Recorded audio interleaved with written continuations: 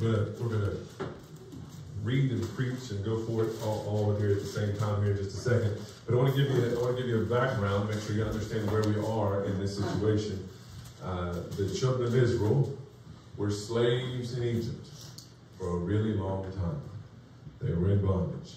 God went and He called them out. He brought them out of Egypt with all kinds of mighty signs and wonders. He came against every god that the Egyptians had and showed that he, God, was better, stronger, more powerful than each and every one that they worshiped. And that he brought the children of Israel, also showing them that he was more powerful than all the gods of the land that they were in bondage to. Mm-hmm. Anyways, brought them out of Egypt and was taking them to the promised land, the land flowing with milk and honey. And here we are getting ready to hear in Numbers. Uh, God said, send them out, send out a, a leader from each tribe uh, from the 12 tribes of Israel. So they, they elected 12 men, sent them to spy out the land, this promised land, this land that God said he was going to give them as their inheritance forever. Uh, you know, if they're still in that land today, just want to throw that out there. The same Israel is still Israel today. They had a little bit of hiccup there for a few hundred years, but they're back. Praise the Lord. God is able to do what he said he was going to do and continue to do it for all eternity as long as he sees fit, right? Amen. So these 12 spies, they went out and they spied the land. When they came back, two of them, Joshua and Caleb, said, hey man, that's good land. Let's go. Let's do it. And then 10 of them said, ah, ah. I mean, it's nice. They got some fruit and it sure is a good land. But you gotta watch out for that but, right? Unless it's but God. But if it's but anything else, you gotta watch out. There's giants in the land, and they got big old walls, and they're just there's tons of them, and we're little old grasshoppers, and oh, woe is me. They stirred up the people against the word of the Lord to go and take the land. So then God got angry and said, All right, children, you don't want to have this land, then you ain't going to get it. You're going to wander in the desert for each uh, they spent 40 days over there spying out the land. Uh, a year for each day you were over there in the promised land. You're going to roam the desert. And so then the next day, they got up and said, Oh, no, we'll go take it now.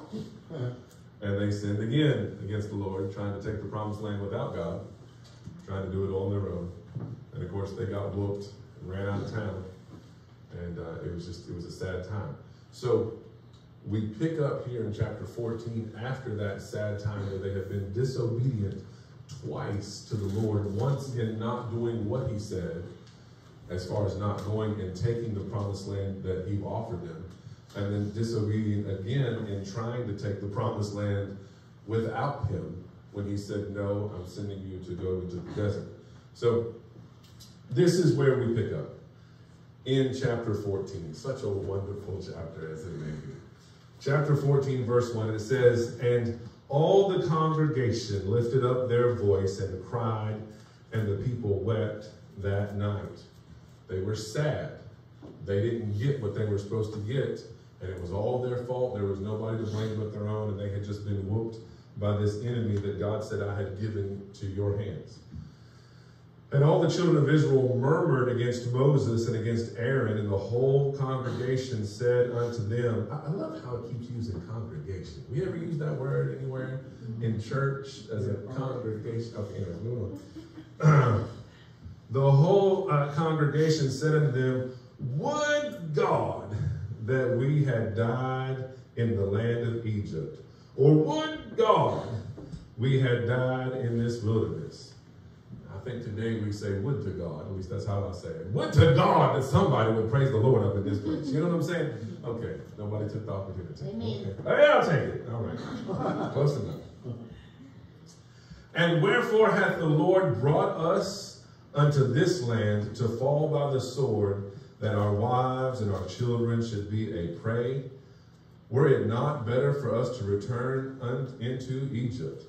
And they said one to another, let us make a captain and let us return into Egypt. Now, Egypt is almost always in the Bible. I won't put a, a, a 100% declaration on it, but Egypt is almost always a, a, symbol of going back into the world. of going back into sin, of going back into bondage, of going against God, leaving God, and doing something in your own flesh, in your own power. So here they are. They've done left and been freed from sin, been freed from bondage, been set free from slavery. And now they want to take and elect their own people to go back. Because at least over there, I don't know. There really isn't nothing. Because everything they're talking about here is fear that has not come to pass.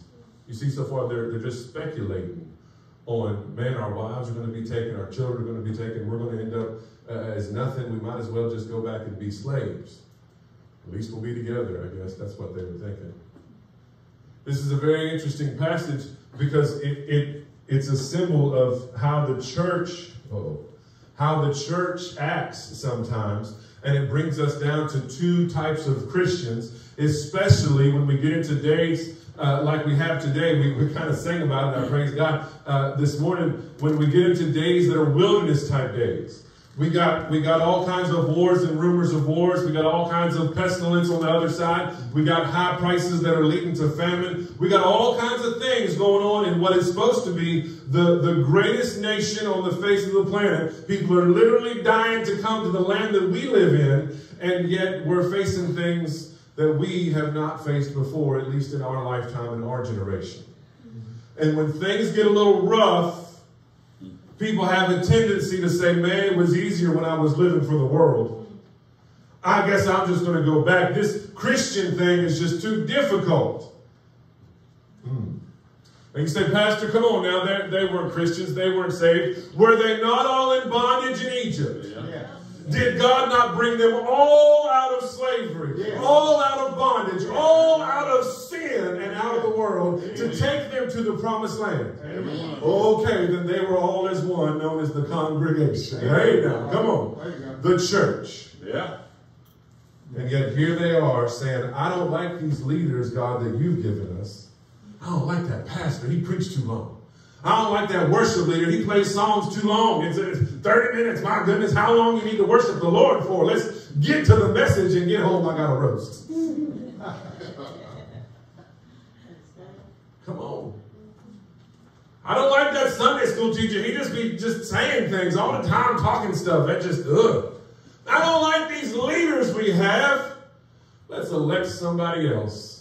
Let's start our own church. Let's start our own. Oh boy, I tell you what, this is wonderful message this morning. Glory to God. Hallelujah. Let's do our own thing. Because we don't like what it is that God has given us. Ooh, ooh, ooh. God gave them their leaders yeah. to lead them. Now, here's the interesting thing. These children were going to have to go through the wilderness, these children of God. The leaders were going to have to go through it too. Amen. They didn't want to go through it. They had to walk through the wilderness 40 years just like everybody else. But they were willing to submit to God and go through that wilderness because that's what God called them to do. Yeah. Lead my people through this mess. I would say that there are leaders in the church today, pastors, I'm talking about the whole church body, that as soon as opposition comes knocking at their door, you can't talk about LGBTQ. You can't talk about uh, uh, anything good and positive for white people. You can't talk about male and female, only two, two genders. You can't, you got to submit to Black Lives Matter. You got to submit to critical race theory. You can't proclaim that abortion is wrong. There's leaders, we've done seen it. They'll bow down and kowtow to whatever the world says, because as soon as the world comes against them, they're like, I ain't going to that wilderness. Yeah. I'm going back to Egypt too. I'm not walking my people through this mess. I, I think I'm going to take the easy route. We see it all over television. We see it all over leaders throughout North Carolina. Won't dare step on those hot button issues. My Lord, they might get kicked off YouTube. Somebody, FBI, might come knocking at their house. Huh? Dear Lord, can't do that instead of leading their people where they're supposed to go. You understand they had to get through the wilderness to get to the promised land. You understand if they'd have never went through the wilderness and decided they wanted to go back to Egypt or, I don't know, pick any other country, they'd have never made it to the promised land. Amen. Man, I want to get to the promised land. Cool. Now, Let's just spend a second right here on that promised land. The promised land they were going to, we all as Christians like to say that's heaven. And I say we're close. The promised land is not the promised land. The promised land, sure, is heaven with the ED on the end of it. God has promised us a hope and a future. God has promised us mansions and glory. God has promised us that where he is there, I will be also. Huh, come on. But the promised land that they were going to, it had the world in it. It had people that had to be defeated in it. When I go to heaven, I ain't going to fight no more battles. Oh, Come on. There was sin in the promised land. It had to be cast out. There was a fight, a struggle. Constantly, God said, don't do like the rest of them do, because if you do, you'll end up worshiping their people, and then you'll end up sinning against me and committing fornication with the world. Don't be like those people that you're going into that land. Amen. So what is the promised land? Well, I'll tell you real quick. The promised land is that life and that life more abundantly that God wants to give you right here, right now on this earth. To be in the world, but not of the world. Amen. Oh, to live in a land flowing with milk and honey, no matter what everything else is going on around you. God said, I've given you victory. I've made you more than a conqueror. I've given you all kinds of promises that I will never leave you nor forsake you, that you will not be begging bread. You will be victorious in this land that I've given you now. Amen. If you'll just submit to Christ if you'll just walk according to his ways. If you'll just reject the world and all the gods that the world serves. Ooh, the world serves a lot of gods. Back in the Bible days, we call them out. Baal and Molech and all the rest of them. Today, we just, oh, don't want to offend. I'll just call it out as satanic. Just covers it all, yes? Evil. Amen. Covers it all. We're aborting babies to the altar of convenience. We're leaving the world and doing this evangelical deconstruction mess because somebody stepped on our toes in the church and we can't handle a little bit of correction or a little bit of guidance or a little bit of feelings getting hurt. And I tell you, when I read the Bible, I get, I get my feelings hurt all the time. All the time. This thing is a mirror. When I look into it, I see all kinds of flaws. It shows me where I, I fail and mess up constantly. And I got to say, God, forgive me and help me to have victory. And He does. The person I am today is not the person I was 20, 30, 40 years ago. Amen. 40 years ago, I was a little baby. But still, not the same person. Praise God. These people had come out of slavery, come out of bondage, come out of the world, and yet here they were saying, it's too difficult. The price of gas is too high, God. There's not enough stuff in the store. I got to end up doing all this crazy mess to be able to live for you, God. It's just, it's too difficult. I'm going back to the world. I'm going back to Egypt. And I'm going to elect my own leaders and take them, take them there. Or have them take me there. Pick it up in verse 5. It says, Then Moses and Aaron fell on their faces before all the assembly of the congregation of the children of Israel.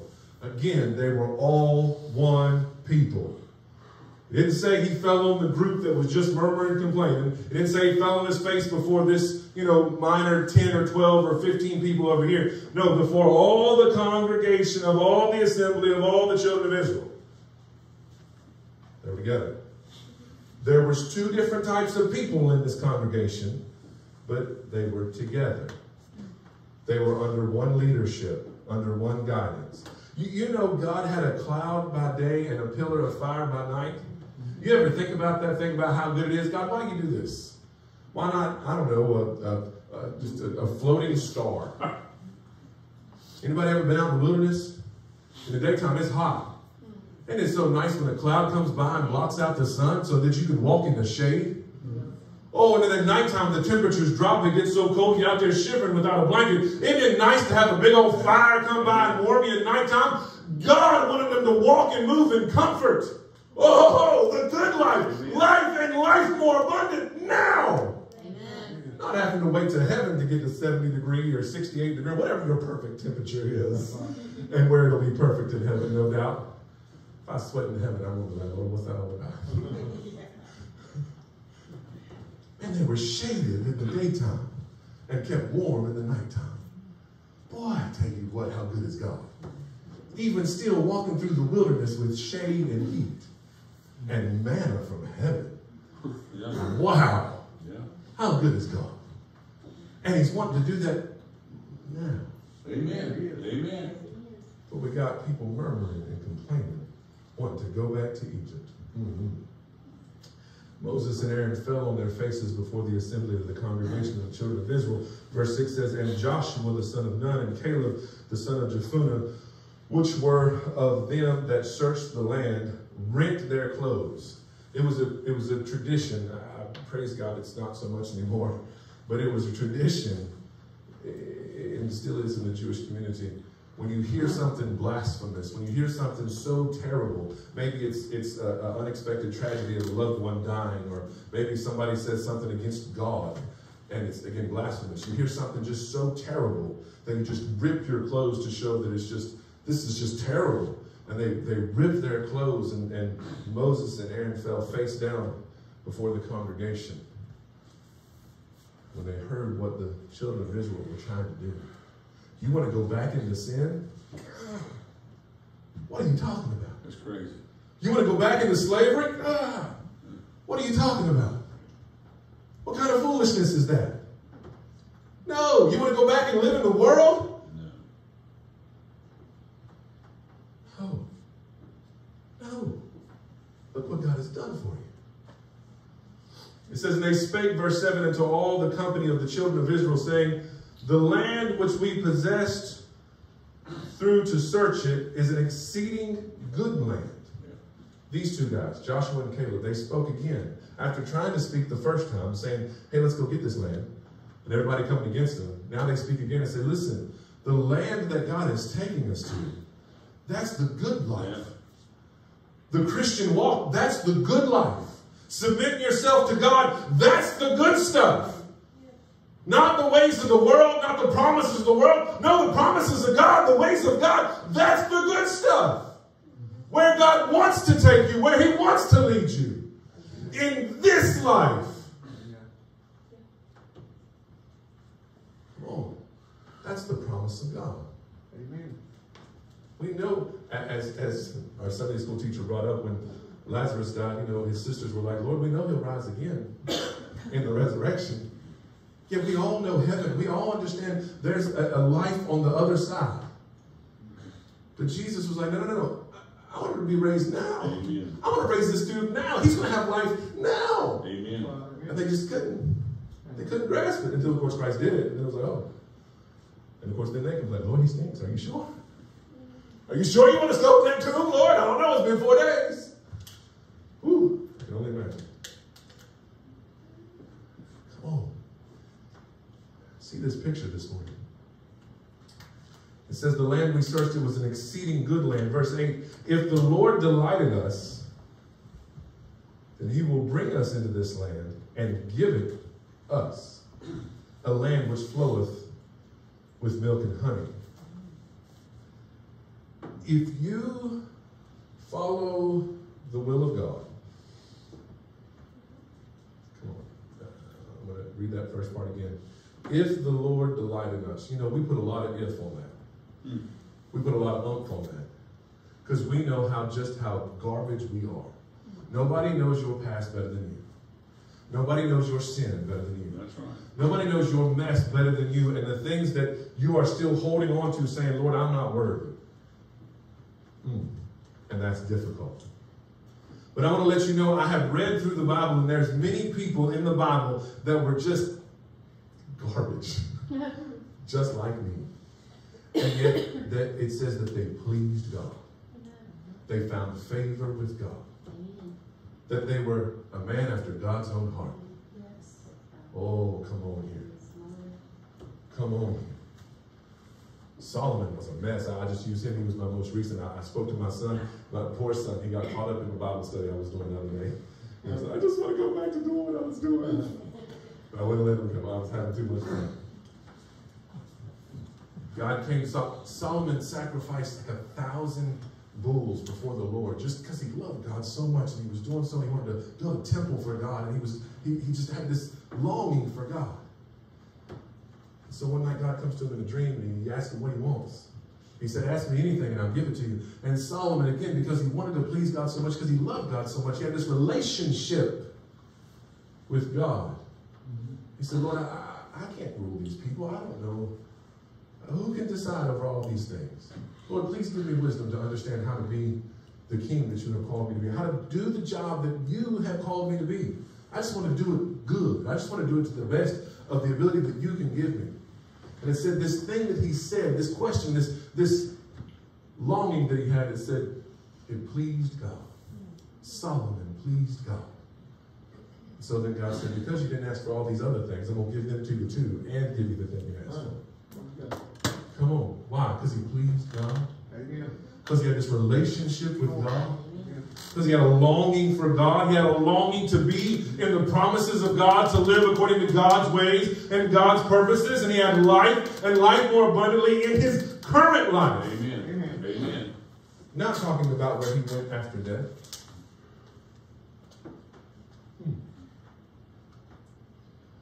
Said, if the Lord delights in us, let me tell you something. The Lord delights in you if you follow his ways. If you love me, keep my commandments. That's it. There it is. It's real simple. Do it God's way. And all of a sudden, oh, you'll start finding delight in the Lord, and the Lord will find delight in you. Said you, you must believe that God is, and that He's a rewarder of those who diligently seek Him. Without faith, it's impossible to please God. So with faith, it's possible to please God. Not because of your sins, right? Not because you're good enough. No, because you have faith in God and you're doing it His way. Amen. You're living His way, trying to do what He called you to do. If the Lord delights in us, man, that's huge. That's a big if, but it doesn't rest on what you do as far as your own personal decisions. It relies, uh, relies on what you do according to God's decisions, according to God's ways. All you have to do is submit. Submit to the Lord. Walk according to the Spirit and not after the flesh, and you will have life. That's what Romans tells us. If the Lord has found pleasure in us, if, if, if we please the Lord, if He delights in us, then He will bring us into this land. He will give us that life and give it to us more abundantly now. That land flowing with milk and honey. Listen, Psalm says all around, it's, it's right here, it's, it's, a chapter that was been spoken to me one day, I'll tell the story. It says a thousand may fall on one side, ten thousand on the other, but it shall not touch you. Yeah. Arrows can fly by, by pestilence, it all can come at you, but you shall not be harmed. You can be living a life flowing with milk and honey in the midst of a wilderness. That's right. In the midst of when everything else around you is garbage inflation, gas prices, pestilence, COVID, uh, all the mess on the news that they're legalizing that needs to be uh, illegal because it's against God's word. It's a sin, but yet we're legalizing sin left and right in a nation that's supposed to be one nation under God, and yet we seem to be one nation serving many gods and abandoning God. You can live a life flowing with milk and honey. Come on, this is, this is what this is about. Amen. Only rebel not, verse 9. Only rebel not. Rebellion is next to what? Witchcraft. Oh, we heard that sometime last week. Mm-hmm. Only rebel not. Somebody said to know what you're supposed to do and not do it to you, that's sin. Mm-hmm. That's sin. Rebel not against the Lord. Neither fear ye the people of the land for they are bread for us. There you go. Huh. Yeah. They ain't nothing but bread. We're going to use them to give us what we need. They're sustenance to us. They're over there plowing in their fields, and actually they're plowing seeds, and we're going to harvest what they plow. Amen. Huh? God said he'd take the world's money and give it to us.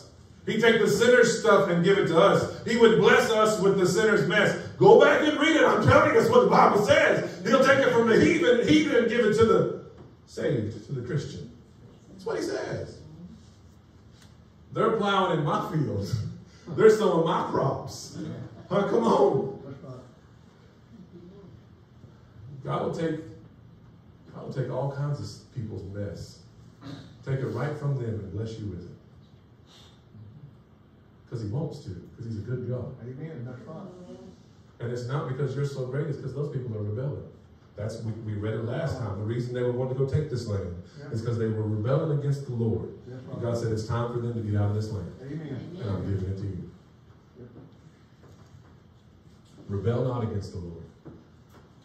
Don't be afraid of these people. They're bread for us. Their defense is departed from them, and the Lord is with us. Fear them not. These buts. Here we go again. But all the congregation bade stone them with stones. They wanted to stone Joshua and Caleb for what they just said. They wanted to pick up stones and kill these people for telling them the truth. Pray to God that whenever you guys eventually do that, you'll use the little rotten tomatoes and pumpkins. Please don't throw stones. Please don't throw stones. But all the congregation made uh, uh, uh, stones, stoned them with stones, and the glory of the Lord appeared in the tabernacle of the congregation before all the children of Israel. Listen, God had to step in and stop what was about to happen. He had to step on the scene for a second, get everybody's attention. God will do it. He'll come to your rescue each and every time. Right here it is. He rescued those people that were preaching and teaching the truth. Verse 11, it says, And the Lord said unto Moses, How long will this people provoke me? And how long will it be ere they believe me? For all the signs which I have showed among them. Now listen, I want to show you about this word signs. In other translations, it says miracles. This is an interesting word. So you got my definition up here for me. There it is. There it is in the Hebrew language. It's, it's, it's number 226 if you want to go look it up in your concordance. But it means signs, miracles, as pledges or attestation of divine presence or interposition. I put in the back intervention. Attestation means a testimony. God says, uh, How long am I going to put up with these people? He all of a sudden he's talking to Moses. How long will I put up with these people? How long will it be that they, they refuse to believe me after all the signs and miracles that I've done as a pledge or a testimony of my divine presence and intervening in their life? Oh, wow. So you mean the miracles, signs, and wonders were evident in their life that God was with them? Yeah. First, he brought them out of Egypt that way. We remember that. Hello. He, he brought him out of the world with miracle signs and wonders. When you get saved, my God, that's a miracle. Amen. Amen. All of a sudden, your uh, address changes from 101 Hale Street to Main Street Heaven. Come on. Amen. There you go. Amen. Praise God. Yes. What a miracle. All of a sudden, there's a change in your heart. There's a change in your mind. There's a change inside of you. Amen. Yes. God takes all that old mess out. He says, You're a new creation, a new creature. The old is gone. Behold, all things are made new. Hallelujah. Hallelujah. Praise God. Then he begins to perform miracles in your life. God, I'm addicted to this. I'm going to let, let you lay it down. Watch this. Boom. God, I need healing over here because all those years in sin have messed me up. Boom. I'm going to give you healing. Amen. There you go. God, I, I don't have a background. I've done wasted all my time. I can't go and, and make any kind of a living. Boom. I'm going to drop a, a, a, a job right in your lap. Amen. Come on, how many times has God done it for us? Over and over and over again.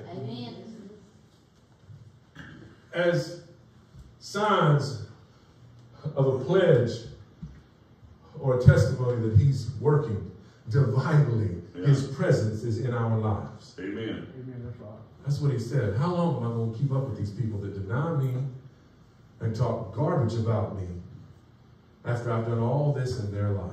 Oh, let this hit home this morning. Come on, let this hit home this morning.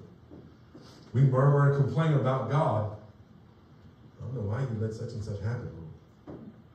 Come on, we murmur and complain about God, and God's like, How long are you not going to see the signs that I have put right in front of your face? of my divine presence in your life. Mm. Verse 12 says, I will smite them with the pestilence and disinherit them and will make of thee a greater nation and a mightier than they. God says, Moses, I'll use you. How about that? We're going to start over. They want to choose a new leader. I'm going to choose a new people. How about that? Ooh, Lord, please don't choose a new church. Oh, come by here, Lord, anytime you want. Don't choose a new church, God. Don't kick us out. That's right. Amen, somebody. Come on. That's. God, forgive us for murmuring and complaining. He goes on, and Moses goes on to plead for the people with God. I want you to see this now. And he pleads with God, and God says, okay, I ain't gonna kill him. Now those ten, they was already in trouble. You go back and read about those ten that came back and gave a bad report and stirred up the whole congregation against uh, uh, what Joshua and Caleb said. You'll read those ten didn't make it. But God then says, listen, then you're going to wander through the wilderness. You're going to go through for 40 years living in wilderness. And you're not going to see the promised land. Here's where we get to the two type of Christians. There are two type of Christians that have two very different relationships with God. One, there's a Christian that says, what can salvation do for me? Well, you got me out of Egypt, God, uh, God that sounds great. Now what can you do for me? You mean I got to go through a test and a trial? No, thank you. What else can you do for me? You, you mean I got to submit? No, I don't want to do that. No, thank you. What else can you do for me, God? Well, Lord, if this is all you got, then I think I'll just go back and live for the world. Hmm. What can salvation do for me? That's about what these children of Israel were talking. That, that, that land over there, that's too big of a job. That's too big of a task. I, that sounds like work, God. I ain't trying to go work. I know the Bible says you prepared me unto good works, God, but Lord, that's too much. I ain't doing that. And there's this other group, Joshua and Caleb and Moses and Aaron and Miriam and all those others. They went out there and they submitted to the Lord. They had a right relationship with God. They had the relationship that was correct with the Lord. It wasn't about what salvation could do for them, it's about what salvation already did for them. Amen. God, you've already saved me. What more do you want? God. God, you've already healed me. What more can I give you? God, I submit myself to you. I give you all of me. What more can I do to show you I love you and worship you, God? You want me to live this way? Yes. You want me to live that way? Yes. You want me to go here? Yes. Here I am. God, send me. What can salvation do for me? No, God, you've already done it all. As Paul says, I, am now bought with the price. I'm a slave to Christ. I, I'm not of my own. There were two different types walking through that wilderness. We get over here towards the end of the chapter. I want to reread verse 11. So I'm go ahead and give me verse 11 again. I'm going to do verse 11 and then I'm going to jump to, I believe it's verse 20.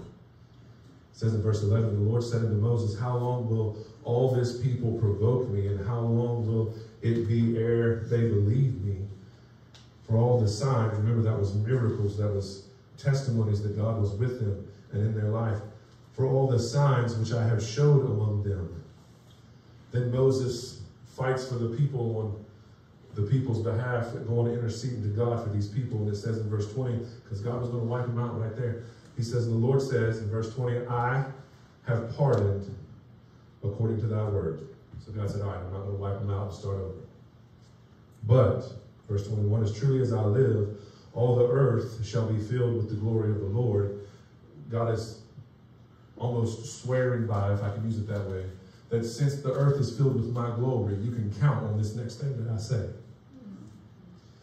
Because all those men which have seen my glory and my miracles, which I did in Egypt and in the wilderness, and have tempted me now these ten times, and have not hearkened to my voice, surely they shall not see the land which I swear unto their fathers, neither shall any of them that provoked me see it. Wow. We have Christians coming to church on the regular, walking through the wilderness. They claim Christianity, they come to church like a Christian, yet in their life there is no land flowing with milk and honey, ever. There's no peace in their life. There's constant struggle in their life. Everything they do seems to come to failure and not prosperity or success. Why?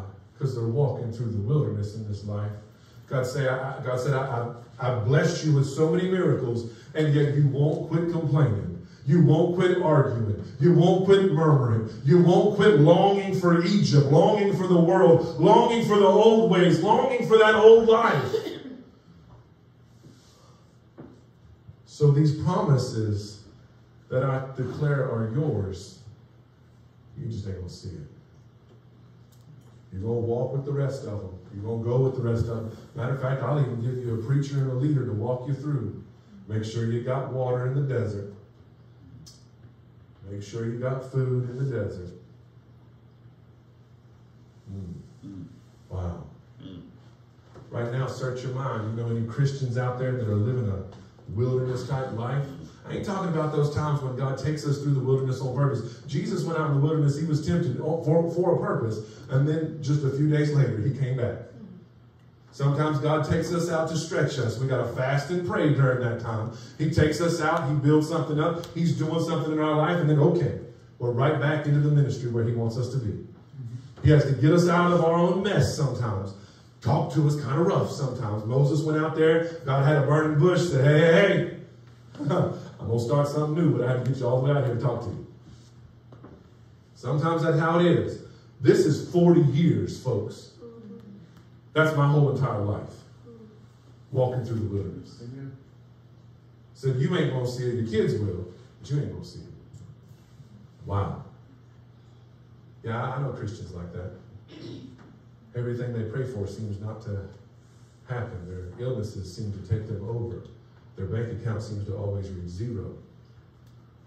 Their life seems to be in shambles every time I turn around.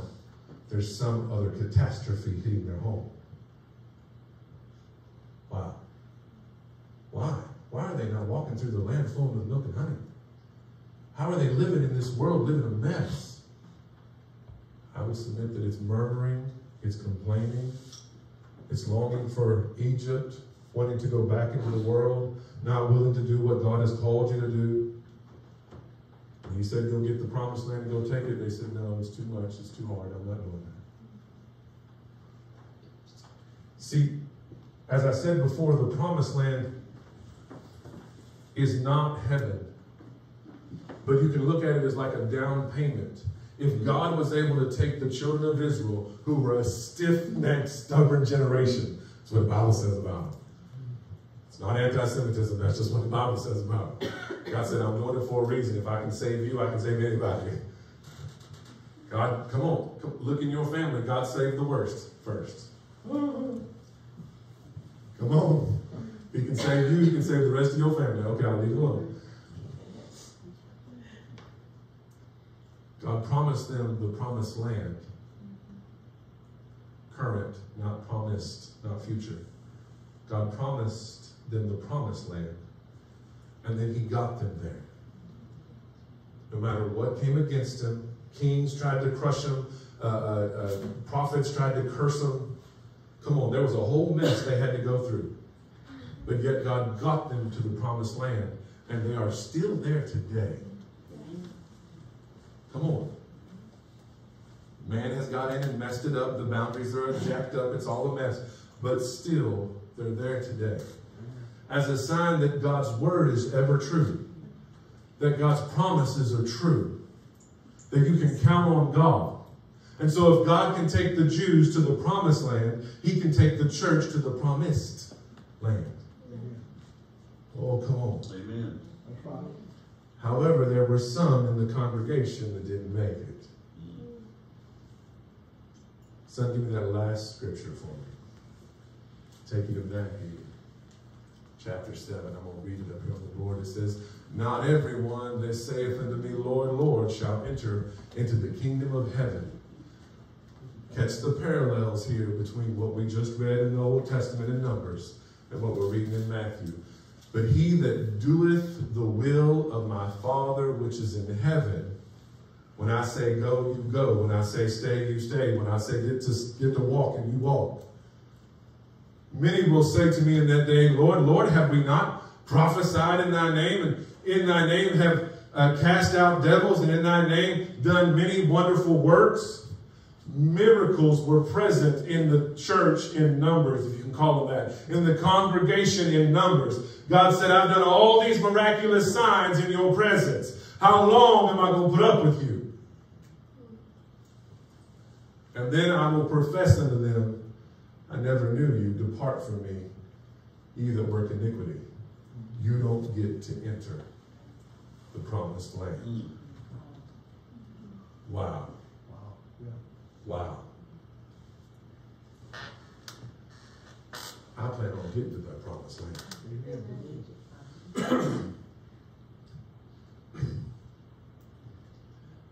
There is then, therefore, a connection between living in the promised land today. Oh, come on, get this. Yeah. And getting the hope of the promised land in glory. If your life resembles those that murmured and complained and went back into the world and wanted to go back into slavery and was always arguing and fussing and going against what the Lord wanted to be done, and your life doesn't look like what the Bible says that your Christian life will look like. Oh, we read it this morning. Come on. Oppressed but not crushed, persecuted, not obeyed. Amen. Come on, knocked down or cast down but not destroyed. That's right. Come on. Yes, the world will come against us, but we have a hope in a future. We have life and life more abundantly. We have victory now. We are more than a conqueror now. Greater is he that is in me than he that is in the world now. Amen. Amen. So if your life does not resemble the promises of God now, because it's nothing but wilderness and mess and garbage, I would say that that's a good chance that you're not right with the Lord and in a right relationship with God to be able to make it to the promised land that is the life after this one. That's right. Amen. That could happen at any minute as soon as we hear that trumpet sound. That's right. Praise God. Yeah. Oh, turn off gravity, Lord. Let me go. You're going to have to turn off gravity to get me there. You know what I'm saying? Anyway. It'll be a miracle seeing me fly. Hallelujah. So there it is this morning. Look back over your life. Again, not talking about those moments, those times, 40 days in the wilderness. Not talking about those times where a month hit you and things were rough and tough and God was doing something. God was showing you his plan. I'm talking about the whole thing. You gave your life to Christ at whatever age, and here you are now, and it's been nothing but wilderness ever since. Sure, there's been miracles. Sure, there's been signs. Sure, there's been evidence that God is in your life. But man, there's this thing that Christians talk about, about having this great, victorious, overcoming life you don't know nothing about. Why? I reckon it's because the relationship with you have you have with God is more about you and what He can do for you, and less about what He's done for you and all about Him. Amen. Ooh. Change your perspective. In other words, repent. Repent is to change your mind and to change your ways. Look up that word repent in the in the concordance, you'll see it's a change of mind. I no longer want those things I used to want. I no longer go the way I used to go.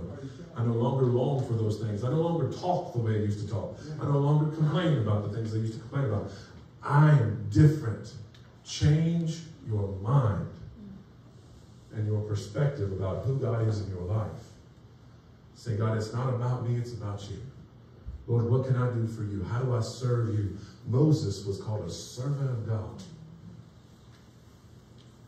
When Joshua was time to take, to take up the mantle for Joshua to be the warrior that God called him to be, oh, come on here, because only Yeshua can get you across the river into that promised land. But it's okay. When his time came, he said, My servant has died. It's your turn to serve. Oh, to be a servant of Christ, to be a servant of God. Oh, that Yeshua would lead us, that Jesus would lead us across that river into the promised land. Mm, come on, if you don't get that, go back and read all of that Torah and understand what's going on. The law can't get you there, only Jesus can get you there. Come on here. Hallelujah. What is your relationship with God? What does it look like? Is it in right standing this morning? Or are you more focused about what it can do for you? We approach salvation like we approach a job or a business deal. That ain't right. Jesus is our Savior. Jesus is our Lord. He's already paid the price for you. It is done. He said, It is finished. Now walk in it you anything from the Lord today, all just know God. Is able to heal, God is able to save, God is able to move and set free, God is able to do exceedingly abundantly, far greater than we could ever think or imagine. Through us, in us, to us, God is able.